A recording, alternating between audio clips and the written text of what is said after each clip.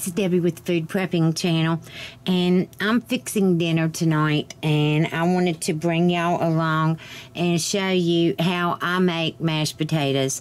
Um, I'm sure that there are some people out here, the younger, the younger generation, and the well, I don't know. I guess some men that their wife has left them or whatever, or they've left their wife and they don't know how to fix mashed potatoes. So I'm going to show y'all how I fix mashed potatoes.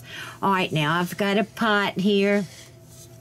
And I've got seven pretty large potatoes in here because I'm going to fix these for dinner tonight and then I'll have them tomorrow and Sunday yeah, tomorrow and Sunday. So let's get these peeled. I'm going to show you how I peel them, what I do, exactly what I do with these.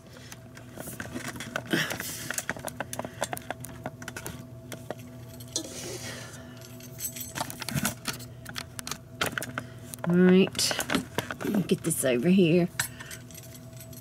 All right, so I'm going to take my potato out, and I have my potato peeler. This is a Tefal. I've got all different kinds. I've got a Farberware, whatever it is. This just happens to be a Tefal one. And I take my potatoes, and I go down just like this. I'm really picky. I don't even know if y'all can see. Yeah, y'all can see. Um, let me move this out some and move y'all out some. Okay. All right. There. All right, so I take my potato peeler and I start, you can see it, I start right here and go down. I was just saying this the other day in a video. I've seen people that take their potato peelers and go up this way. I couldn't, I just couldn't do it that way. But then I had one woman say that her daughter was could do it that way and was really quick at doing it. But I'm not. I've got to go down this way. And I'm real picky. I don't like any um, black spots or spots on my potatoes. See, like right there's one. That's got to go. It's got to go off of here. I just, I don't like them. I'm really, I guess, OCD about that. That's probably why I get big potatoes, and by the time I finish peeling them, there's nothing left because, I'm um, see, now there's a spot right there, and I have to get that off. So I just am picky about that. I don't like any spots on my potatoes. I've seen people that will have black spots on on their potatoes, but not me. Nope, nope, nope. All right. And then I just do this with all the potatoes, get the peeling off of all of them. See, that's a, a black, that was a black spot right there, and I had to make sure that I had that off.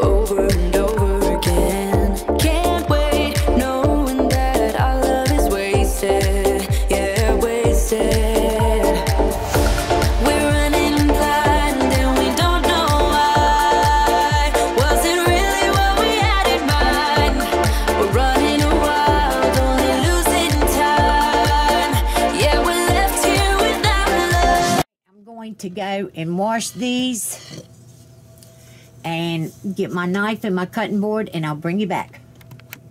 Okay, I'm back. All right, so here's my potatoes. I've got them, I've rinsed them off. This is the one that I cut in half because of that bad place. There's nothing else on it. Um, I am going to slice these and then go rinse the water out, rinse them again. I always rinse them after I peel them and then rinse them before I um, put them in the water to cook them in. So I'm going to slice these.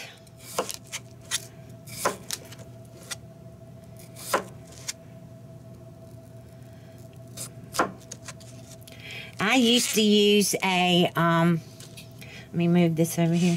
I used to use a, a little, what's it called? Um, oh, I can't even think now. The, the little knives or whatever. I used to peel my potatoes with those, but I just can't. Since I got used to the potato peeler, I can't do that anymore, and I really can't cut them up like I used to. Utility knife? No, it was not.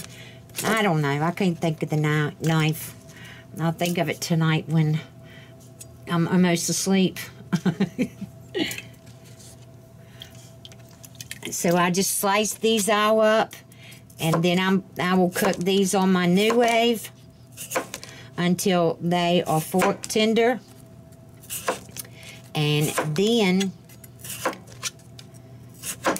I'll show you what else I do with that. And I make the well, I think I did. My grandma made, my grandma made the best mashed potatoes of anybody, and I guess I'm second, second best to her, um, because she taught me how to make them. But mine will never taste like hers, and I do nothing different. She put nothing else in hers that I don't. I, I just don't know what why I can't ever get them to taste the same as my grandma's did. But, all right, I'm going to go on and slice the, finish slicing these up. Y'all don't have to sit here and watch me do that anymore. I'm going to sit here and slice them up, and then I'm going to go rinse them off, and I'll bring y'all back, and I'll show you what I do to cook them. Okay, y'all. All right, so this is on my NuWave. I've got it. Well, you can see the water is covering it. I don't know, two inches. I'm not, a, I don't know my measurements good or whatever, but it's totally covering it. so, and then I'm going to put about a, this is kosher salt, and you always want to salt your potatoes as if it's salt water. So that was a good tablespoon. I got to fill my salt bowl up now, but um, you always want to to salt your potatoes as if it was like the sea, like the seawater or whatever. All right, and now this is on my NuWave induction cooktop. I'm going to hit sear and then start, and it takes an induction cooktop a while to come up to a boil, and once they do come up or when I think that they they might get, get be done just from where they're like simmering or, or whatever on this cooktop. But anyway I'll bring you back when I get ready to um, I'll drain them and then I'll bring y'all back and show you what I'm going to do with them.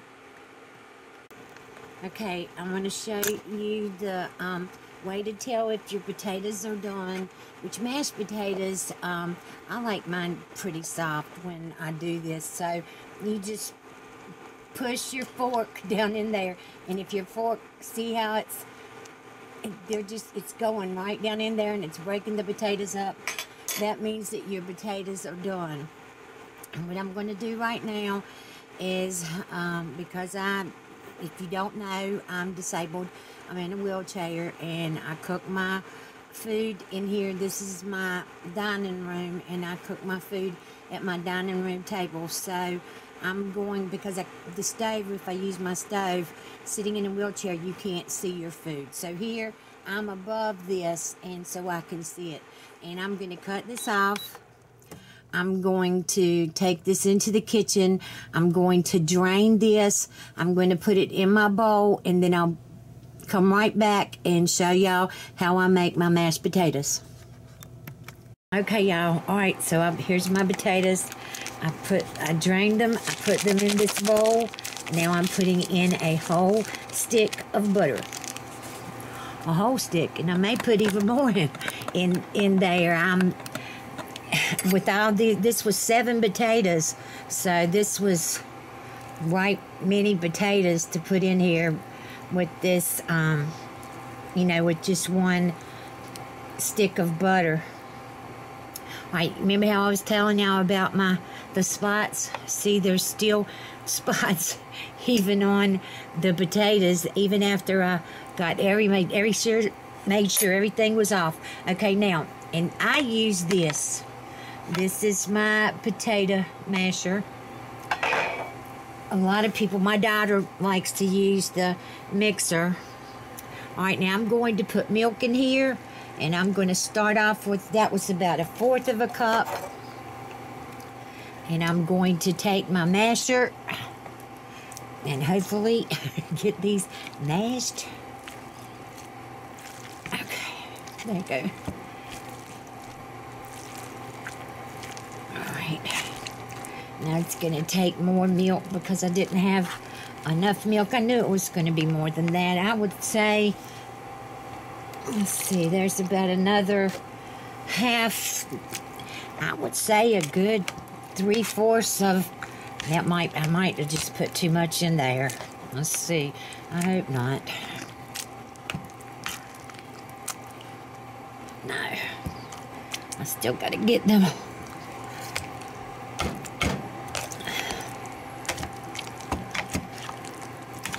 Remember I told y'all it's getting harder and harder for me to do stuff anymore. Well, mashed potatoes evidently is one of them.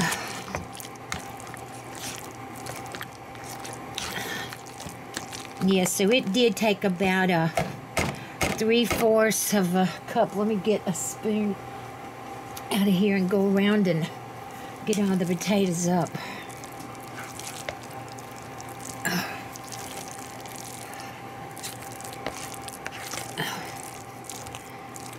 And I I like my potatoes um, with clumps in it, whatever you say. I like them like this way better than I like them in the mixer.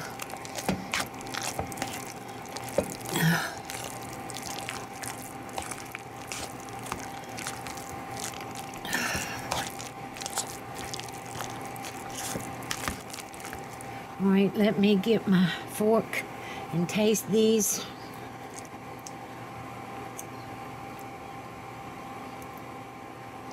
Oh, wow. The salt in them is absolutely perfect. All right, I'm going to put some pepper in here. Now, when I was going to tell you that I did use russet potatoes they are the ones I think are the best for mashing.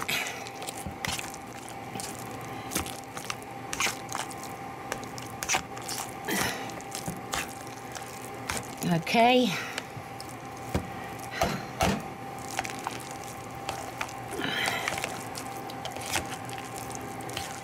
All right, I'm going to get everything together and put it on my plate and I will bring y'all back. Let me go on and taste these for y'all again. Oh my gosh, these are mm, mm, mm, amazing. Uh.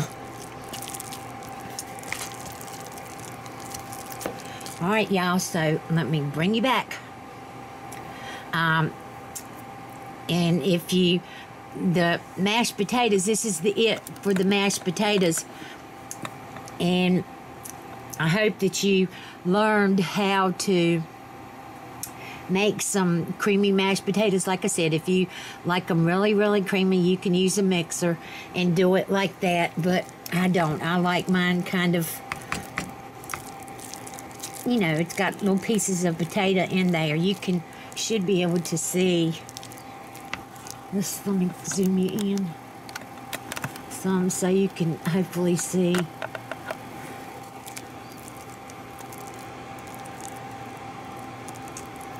The little the little pieces of potato or whatever. So I hope you like this video If you do, give me a thumbs up, subscribe to my channel. Look below for links to my Facebook, my Twitter, and to my Instagram. And I hope this helps you if you don't know how to make mashed potatoes. You can see how easy it is. It really is easy. All I use is a stick of butter. And now this was, that's depending on how many potatoes you peel or whatever. And so you put the amount of butter you want to in there, you put the amount of salt, you and you put the amount of pepper. I'm going I can already tell this is gonna have to have some more pepper in it. So look below for links to my um to also to things that I have um, used in my kitchen and it'll the links are to things that you can purchase at Amazon and I hope you have a good night and I will talk to you later. Bye.